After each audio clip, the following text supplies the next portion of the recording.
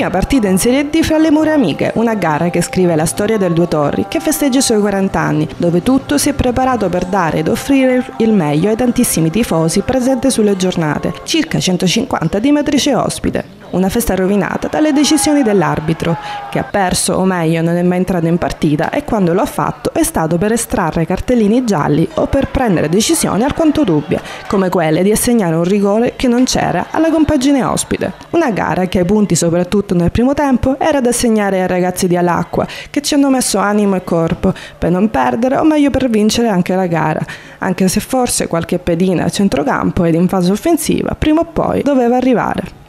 Per la cronaca si parte al sesto con un cross tiro di Lordi che colpisce la traversa alle spalle di Didio. Al quattordicesimo splendida azione di Venuti che dal limite spara un bolide nelle mani di De Luca. Al diciottesimo De Rosa ci prova dal limite con la palla che finisce fuori misura, mentre al ventitreesimo Palumbo tocca con le mani la palla in piena aria, ma l'arbitro non concede il rigore.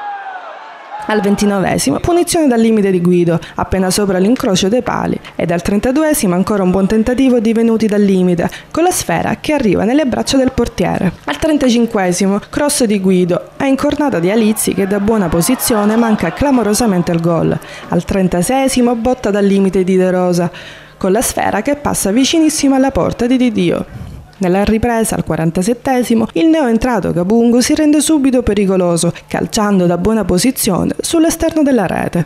Al 48esimo ci prova ancora De Rosa e Di Dio risponde alla grande. Al 49esimo Venuti sul passaggio di Carrello spedisce la palla fuori nel tentativo di crossarla, mentre al 52esimo dal limite si accende bene Butera, ma calcia fuori dallo specchio della porta. Al 55 cross splendido di Guido per la testa di Alizzi, che si vede tolto il pallone all'ultimo istante da una manata di De Luca. Al 57 il mediocre fischietto Cesenate assegna un rigore molto dubbio per un presunto tocco di mano o spinta di Tricamo che viene realizzato da De Rosa. Lo stesso giocatore fa il bis al 62 con una perla messa nell'angolino.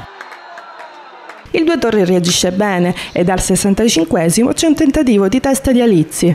Al 67 arriva un Eurogol, messo a segno da Librizzi che dalla distanza piazza la sfera all'incrocio dei pali.